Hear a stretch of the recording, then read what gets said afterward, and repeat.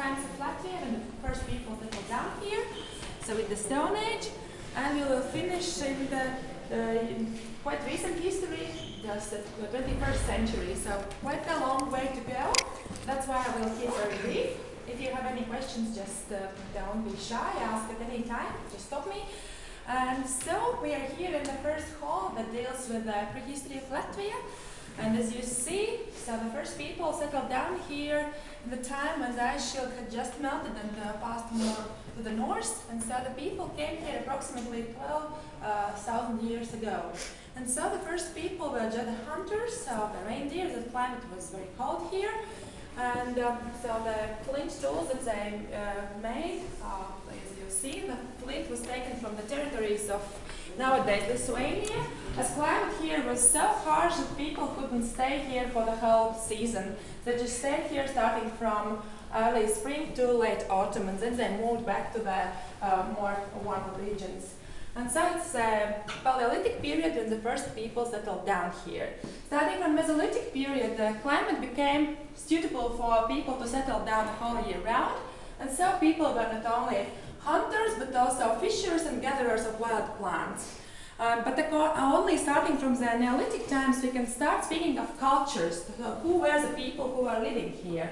And the first cultures, or the first huge group of uh, people who settled down here, it is uh, so-called uh, ceramics, and so they are connected with the uh, Finno-Ugrian people. So nowadays, uh, Finns, the Estonians, so their ancestors settled down here as the first huge culture here in the territory of Latvia. And most probably you know amber, that is a, a stone, it's not a real uh, a precious stone, but it is just coming from a pine tree. And that is when the, our sea started to give the ambers. It's also starting from the Neolithic period.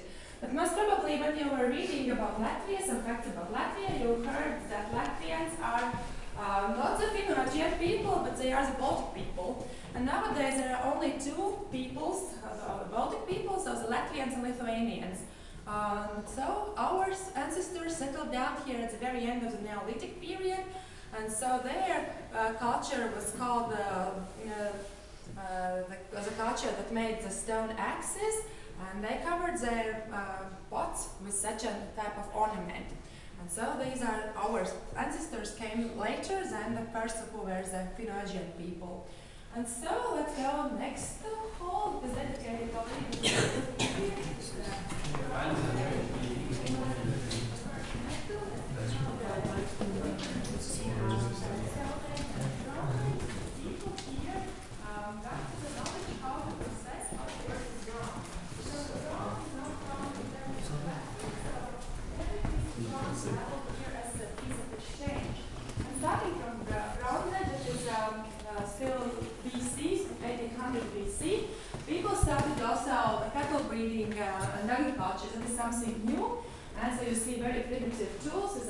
Which people started to, to go into agriculture and cattle breeding themselves. They exchanged their breed, for example, to bronze and new material.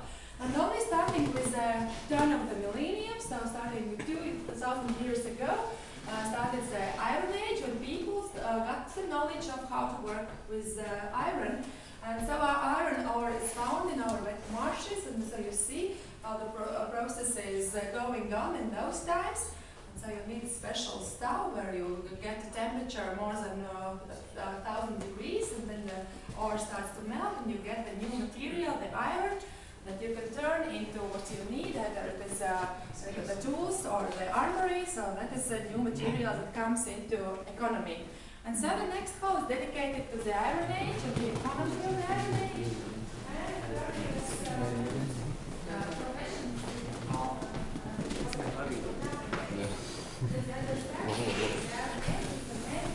Don't take my phone, bitch. You are paid actor? everything for all the other professions are the necessary tools. But the majority of people are the, the working with uh, cattle breeding and agriculture. And so you see that in cattle breeding and agriculture, new material, iron is also used, and so it comes in, and it is uh, one uh, that uh, that is how the economy is developing faster and faster.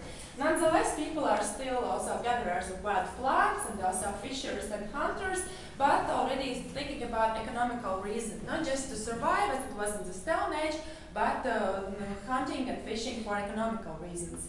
And so you see some more professions, for example, the carpenter who is building the houses. Um, the main construction element is the wood, as it is growing. As you, if you have traveled across Latvia, you see we still have a lot of woods. And so you see also other crafts that people knew at that time, so processing of amber, processing of uh, antler and bones, and also processing of um, uh, various fiber to get the textile. And the main two uh, fibers that were used here for making textile, it is wool coming from sheep that was kept here starting from the Bronze Age, and it is flax, so that is a plant from which you can get uh, clothes like this. And with more professions, you can see here, it's a potter, so that the person who makes pots. And only from the 10th century AD, people are starting to use um, a rotation. So you see the, the millstones, and you see also the work of the potter, and you see the rotation is already in use.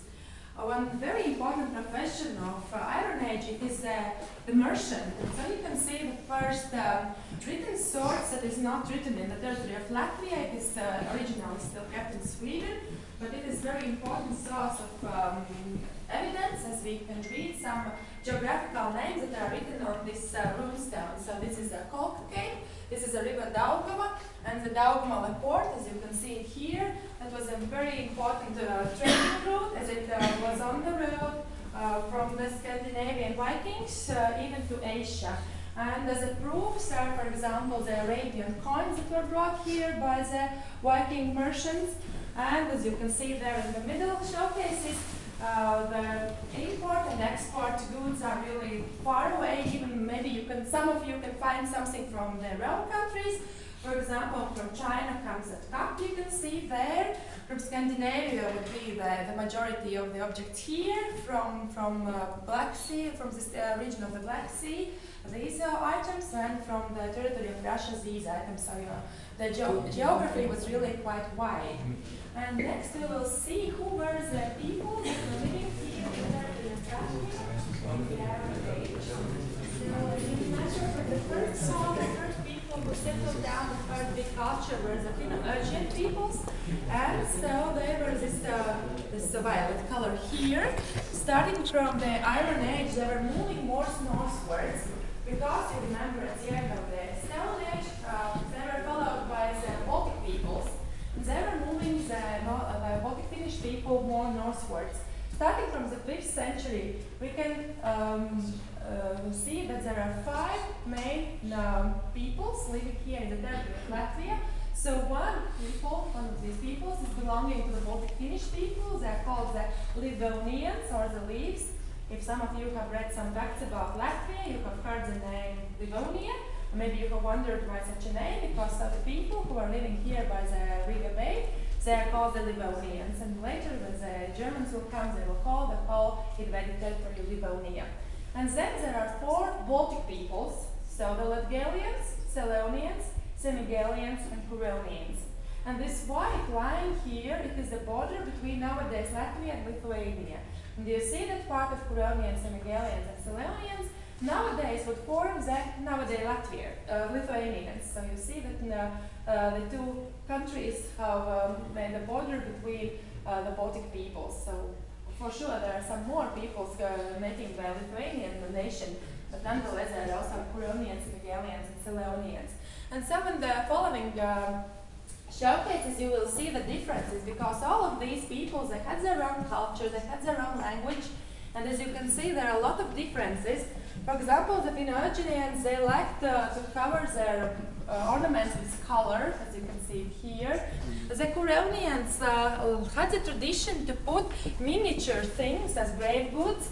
The Curonians were the first who took a lot of burial traditions from uh, the Vikings, for example, to spoil the given things as grave goods. They were specially stolen, uh, spoiled in a special ritual. And again, you see some more influence of Viking culture in their beautiful ornaments. Uh, speaking about something very typical to this region would be this fibula that looks like an owl. You will see here uh, it is an accessory of uh, men, and you will see there as an acce- accessory of Latgalian and Selonian men. A difference of Selonians and Latgalians would be having jingles and bells as an accessory not only of a woman but also of a man. So it is uh, there something uh, typical to their culture. And just to understand how could look like a Latgalian woman in the late Iron Age, here is a reconstruction of a dress. For sure, she was quite rich. Um, so as you can see, a lot of bronze is used in her beautiful uh, dress. And later we will see the ethnographic costume. But so have a look that the, the main items would be the same here in, as archaeological dress and later in the ethnographical dress. And then have a look at the men's dress. So that is the Selonian men's dress. And here is the Latgalian men's dress. And again, you see the two fibers. So the majority of dress is made out of uh, sheep's wool. As the climate here was just like it is nowadays. And uh, the underwear was uh, mainly made out of flax. And uh, uh, speaking about the Semigalians, you see their um, peculiarities. Types of their fibulas are like uh, having very huge fibulas, like you can see here in this showcase. And so these are the four Baltic peoples. And then the fifth nation, there were the Baltic Finnish peoples, the Livonians. And you see quite a huge difference. So they are really under very huge influence of the Viking culture. Uh, they are not having the head ornament as the Baltic peoples have, is just uh, made out of cloth. And they are using quite a lot of ornament on their uh, festive clothes. And that is very characteristic to the Livonian culture. And next we will finish the Iron Age and start the next period, the Middle Ages.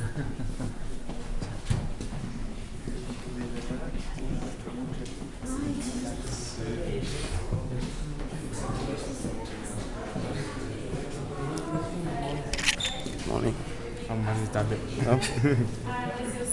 And the, Middle Ages start here very late. So it's only in the 13th century when here the territory of Latvia starts the Middle Ages.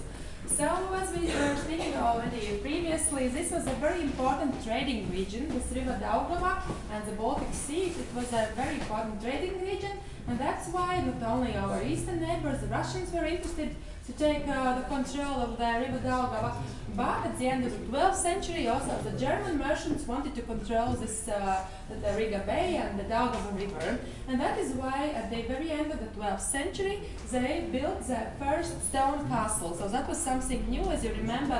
The only building material that was known here was the wood material, but starting from the Germans coming here, so the stone castles were built.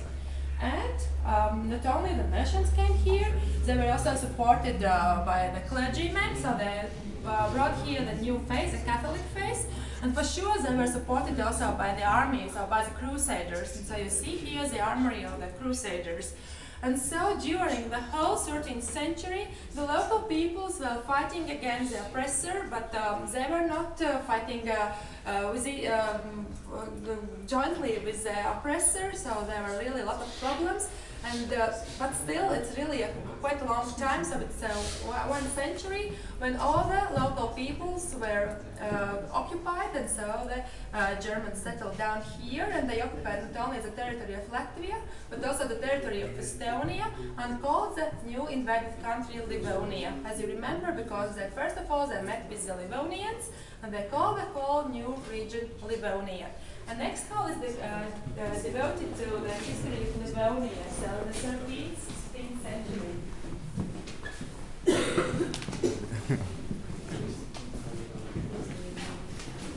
And so the 13th, 16th century, that would be the deal of history of Latvia. And as you see here, the map, uh, so it's again a very, it's, it's a territory that is very hard to organize because the majority of lands belongs to the military organization that is the Livonian Order.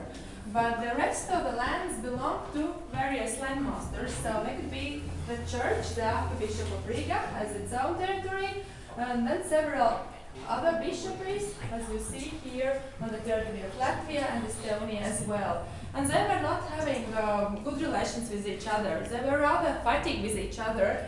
And it's really the, the there were very few times uh, peace and there were no wars in the territory of Livonia.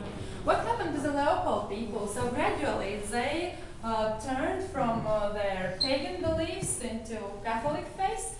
Uh, they gradually lose their personal freedom, but we can't call it yet the slavery, so the slavery will come later. And the things that we could see, for example, to give us a proof that um, they didn't have uh, any more than weapons as a grave goods. Only the people who were um, kind of uh, in a relation with uh, the landlord, for example, they were doing the postman's uh, functions or they were in the army of the German invader, then they could have the weapon. Otherwise, they were prohibited to have the weapon. And also, you can see that in the uh, dress there comes some traits from the uh, Western culture, for example, from, from Germany. And one typical trait comes uh, starting from the Middle Ages, it's as you see the horseshoe fibula, that was characteristic to the archaeological period. But starting from the Middle Ages, it will become annular, so it will become a round fibula, and that's also coming from